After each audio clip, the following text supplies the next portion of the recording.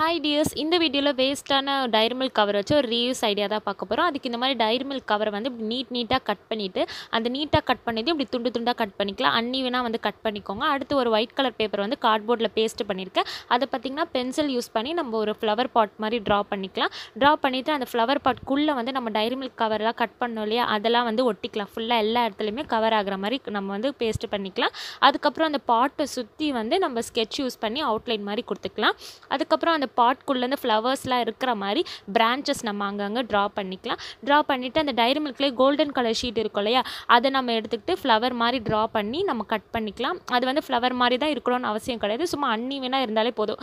வளைஞ்சு வளைஞ்சு கட் பண்ணாலே நமக்கு ஃப்ளவர் ஷேப் மாதிரி காமிக்கும். இந்த மாதிரி நம்ம நிறையா கட் பண்ணி எடுத்துக்கலாம். இப்போ இது எல்லாத்தையுமே உங்களுக்கு பிடிச்ச இடத்துல அங்கங்கே வந்து க்ளூ போட்டு பேஸ்ட் பண்ணிக்கலாம். அவ்வளோதான் ஒரு சிம்பிளான கிராஃப்ட் முடிஞ்சிருச்சு. நெக்ஸ்ட் உங்களுக்கு என்ன கிராஃப்ட் வேணும்னு கமெண்ட்டில் சொல்லுங்கள் பை டியர்ஸ்